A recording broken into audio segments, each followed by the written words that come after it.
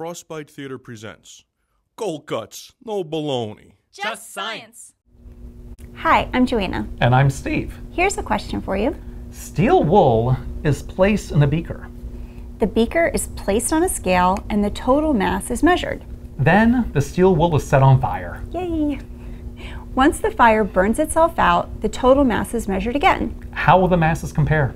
Will the mass be greater before the fire? Will the mass be greater after the fire? Will the masses be the same? Or is this a trick question because metals don't burn? Pause the video now if you'd like to think it over before we show you what happens.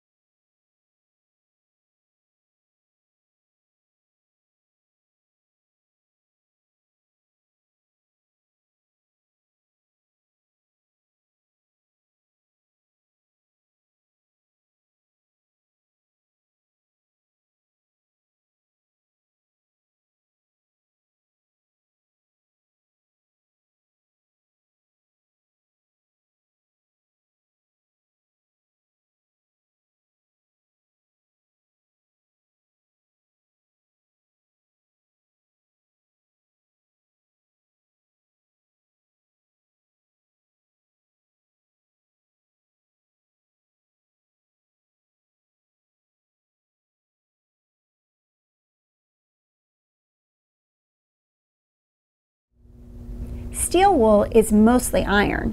When iron burns, it reacts with oxygen in the air, forming iron oxide. Iron plus oxygen is more massive than iron alone. So what's left of the steel wool is more massive after it's been burnt. Thanks for watching. I hope you'll join us again soon for another question.